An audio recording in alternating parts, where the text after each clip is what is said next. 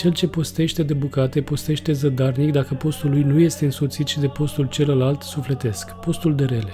Postul de rele, postul de păcat este obligatoriu, mai ales postul gurii. De pildă, dacă bârfești, chiar dacă nu mănânci nimic, tot în ea te duci. Cine o sândește pe altul, acela e mai vinovat decât cel care nu postește, pentru că intră în drepturile lui Dumnezeu. De aceea părinții ne îndeamnă mai ales la acest post al gurii, cum spune psalmistul. Pune, Doamne, pază gurii mele. O vorbă odată spusă nu mai poți fi stăpân pe ea. Zboară de la tine și este mereu comentată și răsălmăcită în toate echipurile. De aceea, țineți-o pe loc, mai ales când e vorba de un cuvânt rău. Sfântul Ioan Gură de Aur spune că de asta sunt dinții și buzele în fața limbii, că doar doar vom putea înfrâna această limbă și, Doamne, Doamne, cât venind și cât vicleșug știe ea să verse de multe ori.